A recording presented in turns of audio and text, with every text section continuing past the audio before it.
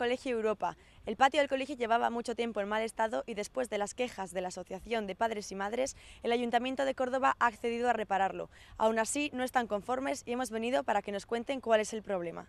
Así se encuentra en la actualidad el patio de este colegio. Durante el horario lectivo y con los estudiantes en las aulas, los trabajadores del ayuntamiento trabajan en la reparación de la zona, pero ni la Asociación de Padres y Madres del Colegio ni los profesores del mismo están conformes con la solución que les han ofrecido y que están llevando a cabo en el recinto escolar. Se quejan de que el patio de recreo del colegio no estaba en buenas condiciones. Laura, ¿cuál es el problema que tenéis en el patio del colegio? Pues mira, en el patio del colegio del Colegio Europa, el principal problema que tenemos es que es un patio que la zona principal del patio, digamos, está formada por arena. Siempre, toda la vida ha sido una parte arenero y la otra ha sido albero. El albero, el problema que ha habido es que se ha ido yendo con el paso del tiempo y ha quedado mm, boquetes, zonas desniveladas en el colegio y, ese es el principal problema que tenemos, que cuando llueve, pues el albero, como todos sabéis, pues no es lo ideal. Ahí se han formado bolsas de, de agua, barro, y al ser la zona principal, como ya os digo, que se, se entra por aquí al colegio y da directamente la entrada y la salida al colegio a ese albero, pues el principal problema que tiene el colegio es la arena del colegio y, que esa arena pues ha provocado muchos problemas en el colegio, no solamente a nivel de que se formen charcos de agua, sino de suciedad, de los niños estar todo el día y pasar horas en arena, pasar a las clases y dentro de las clases los niños pasan horas con el suelo lleno de arena, el mobiliario del colegio es polvo puro y en épocas en las que aquí el tiempo es como es, pues Mm, polvo y más polvo y más polvo y, los niños muchísimas horas en contacto con la arena y muchísimos casos pues, de alergia y demás. Claro, está siendo incluso peligroso para los niños que vienen al colegio. Sí, sí, porque este albero ha llegado un momento en el que este albero ha ido desapareciendo con el paso del tiempo y lo que ha dejado es boquete y con lo y con lo cual desnivel también en las zonas en las que hay escalones, bordillos, porque otra cosa que tenemos es que el patio está rodeado, claro, el arbero queda centrado en el patio y los bordillos que mm, limitaban ese albero pues han ido quedando en relieve, en relieve los bordillos de los bordes y las fuentes, las fuentes quedan elevadas y la verdad que el patio con el albero y una vez que el albero se ha ido, ahí han quedado boquetes y el albero es peligroso para los niños. ¿En qué momento se toma la decisión de arreglarlo y cuánto tiempo dicen que van a tardar? Se toma la decisión de arreglarlo, mm, esto lleva a una pelea que los padres, viendo la situación, han intentado arreglarlo mm, desde hace ya varios años. Entonces el AMPA tomó la decisión de comenzar a movilizarse para que se le diera una solución definitiva. Y la solución definitiva que buscaban los padres era poder quitar la arena, el arbero, y cambiarlo por algo definitivo. Y la lucha de los padres desde, este, desde años atrás, que estamos hablando de tres años o así, es luchar para que nos quiten la tierra y nos traigan hormigón, que es lo que nosotros pedimos. ¿Qué ha pasado? Que esta lucha este último año ha sido ya más intensa, donde nos hemos reunido con las entidades competentes en el colegio para poder realizar este tipo de obras y ha sido cuando nos hemos encontrado con que la solución al hormigón no nos la dan, pues ellos insisten en que la solución es volver a echar otra vez arena, si no es albero, otra de otro tipo. Y, la que ven idónea para un colegio,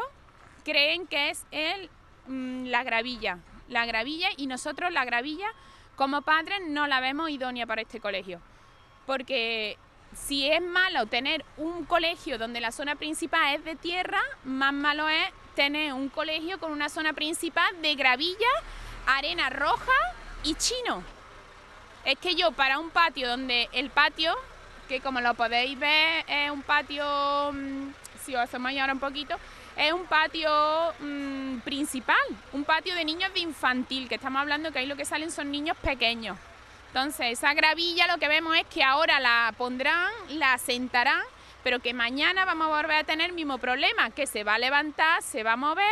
la chino va a estar por todo el colegio y que eso va a ser otra vez una zona peligrosa para los niños. Los padres del centro reclaman a la Junta de Andalucía y al Ayuntamiento de Córdoba que eliminen la arena del patio, la cual ha sido causante de problemas con las alcantarillas, agujeros en el suelo y bolsas de agua. Las medidas que se han tomado para solventar el problema no convencen a Lampa y creen que van a volver a sufrir las mismas consecuencias. Pues mira, la solución ha sido que desde el año, desde el curso pasado, ya recibimos una carta con la propuesta de las entidades que era que nos daban una solución de volver a, replantear el patio nuevamente, a intentar allanarlo, darle pendiente a las alcantarillas y volver a rellenar nuevamente con arena y con, con gravilla roja. Entonces, eh, a eso es a lo que nosotros nos negamos. A esa propuesta suya nosotros nos negamos, los padres nos negamos y decidimos que, que eso no era lo ideal para el patio de nuestros hijos y que nosotros pensábamos que el hormigón sí es lo ideal para nosotros acabar con el problema para siempre. Incluso habéis llegado a ofrecer pagadlo vosotros mismos y os han dicho que no. Sí, una propuesta nuestra, como en un principio cuando comenzamos a mover esto, la cosa que nos decían era también pues que el tema de que los presupuestos pues están muy recortados, la situación económica no es ideal para hacer una obra, una inversión con ese calibre y entonces pues los padres a través de la asociación de padres que se ha recaudado durante años dinero, pues llegamos al acuerdo de que parte del dinero recaudado pues lo podíamos invertir en arreglar el patio para nuestros niños. Entonces fuimos con la, propuesta de nosotros poder correr con los gastos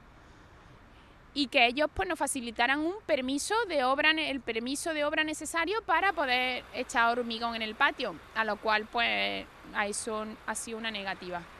Los niños están en clase, las máquinas están trabajando, me imagino que eso también es un problema, porque los niños están con los ruidos, con las máquinas, con el polvo. Sí, por supuesto, nosotros no pensamos que este fuera el mejor momento de hacer esto. Nosotros se movió mucho todo el año pasado y sobre todo antes de que llegara el verano se propuso que si la solución, por favor, que se, que se hiciera en, en agosto, en periodo no lectivo. Entonces, no sabemos nosotros, porque eso es cosa del ayuntamiento, mm, por qué no lo hicieron en agosto, por qué no intentaron buscar una solución y hacerlo en otro periodo. Se han encontrado con que de repente ahora, pues lo van a hacer ahora. Haya niños en el colegio, no haya, lo están haciendo. Y están haciendo lo que ellos han decidido que hacer, a pesar de que nosotros, pues los padres, vemos que no es lo ideal y que están dando encima una solución que no es definitiva, porque sigue siendo arena y, que el, colegio va a continuar con el problema de la suciedad, del peligro para los niños y de todo. Está claro que las obras se están llevando a cabo, lo están haciendo a su manera. ¿Vais a seguir con la lucha incluso cuando las obras hayan terminado? Hombre, nosotros siempre vamos a seguir quejándonos y siempre vamos a seguir con nuestra negativa a esta solución. Lo que sí que vemos que creemos que lo están haciendo, van a hacerlo como ellos creen y que una vez que lo hagan nos van a dar puerta y nos van a dejar un poco sin salida. Ante esta situación siguen las quejas cada vez con menos esperanza al ver que las máquinas siguen trabajando en una reforma que no convence a las familias de los estudiantes del Colegio Europa.